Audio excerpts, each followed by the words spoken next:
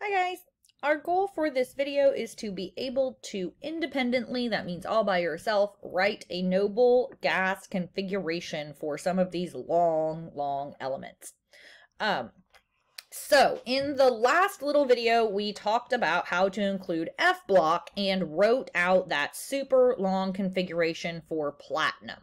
Um, as a reminder, this is what platinum's configuration looks like. So that complete configuration is pretty long. And that last video took us five minutes. So I don't expect that it would take you five minutes to do this every time, but it's definitely time consuming.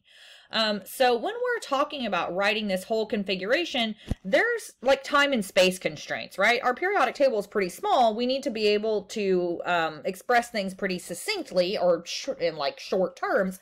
Um, so we have developed, and by we I mean chemists, have developed this idea of a shortcut using um, noble gases.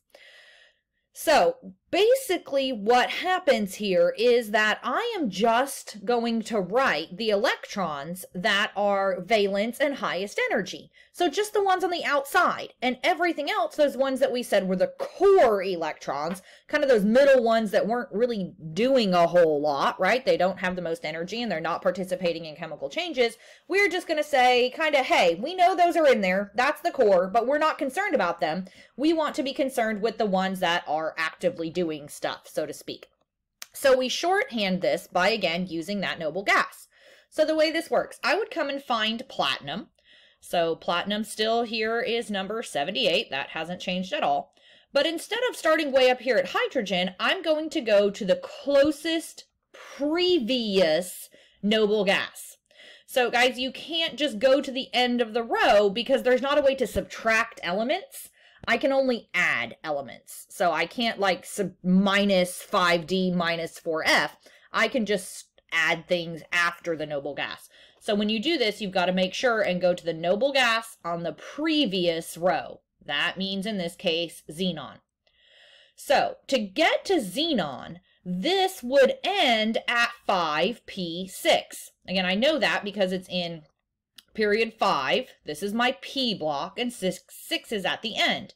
So if I go back to this original configuration, what I can do is basically shorthand this whole part by just putting xenon in brackets. And it looks something like this. So I'm just going to write it kind of over here to the side so we can compare. I would do square brackets, not parentheses, not curvy brackets. It's square brackets every time. Put in the closest previous noble gas. Oops, wrong bracket. And then continue writing my configuration until I get to what I need. So in this case, I have 6s2.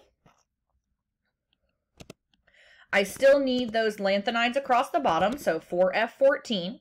And then I need my highest energy, the ones in that last um, sub-level, right there. So I've got 5D8. And then I'm finished.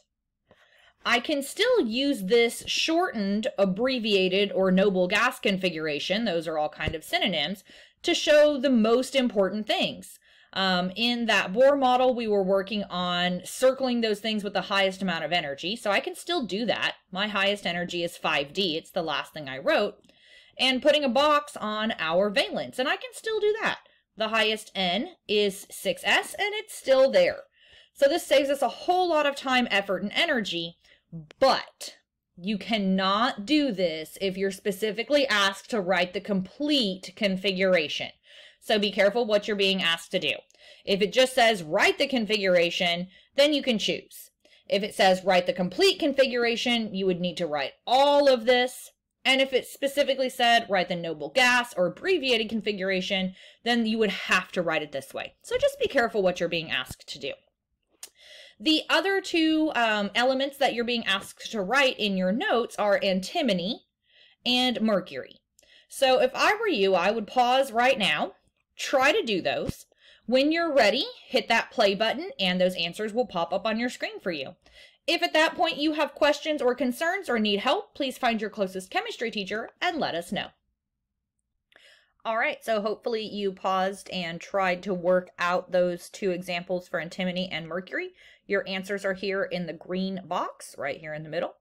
Again, if you need help after you double check those, please, please, please go find your closest chem teacher and let us help. Again, have a great day.